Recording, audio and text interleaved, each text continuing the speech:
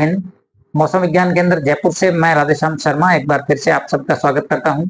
आज दिनांक 7 जून है और हम बात करेंगे राजस्थान में एक नए सक्रिय पश्चिम विक्षोभ की। सबसे पहले यदि पिछले 24 घंटों में दर्ज मौसम की बात करें तो उत्तरी और उत्तर पश्चिमी राजस्थान के कुछ इलाकों में सीवियर डस्ट स्टॉर्म रिपोर्ट हुआ है।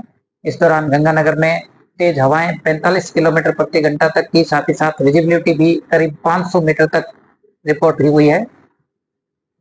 इस सिस्टम का असर खासकर पश्चिमी राजस्थान के जोधपुर और बीकानेर संभाग के कई इलाकों में अगले 48 घंटों तक बने रहने की संभावना है।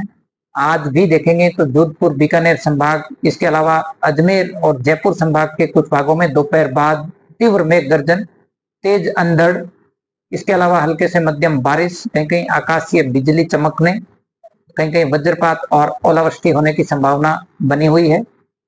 इसके प्रभाव से आप देखेंगे, ज़्यादातर इलाकों में तापमान में भी दो से तीन डिग्री सेल्सियस की गिरावट होने की संभावना है। 10 जून से इस सिस्टम का असर पश्चिमी राजस्थान से धीरे धीरे समाप्त होगा। हालाँकि पूर्वी राजस्थान के उदयपुर और कोटा संभाग के कुछ इलाकों में थंडरस्टॉर्म मेघ गर्जन और हल्के दर्जे की बारिश की गतिविधियाँ पूर्वी राजस्थान में भी जारी रहने की संभावना है।